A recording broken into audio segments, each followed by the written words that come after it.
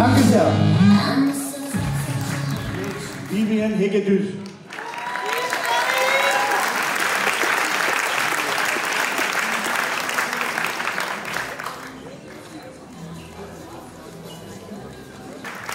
Großer Applaus für diese Damenklasse. Und danke auch an den Istvan, der uns da 300 Euro heute zur Verfügung gestellt hat.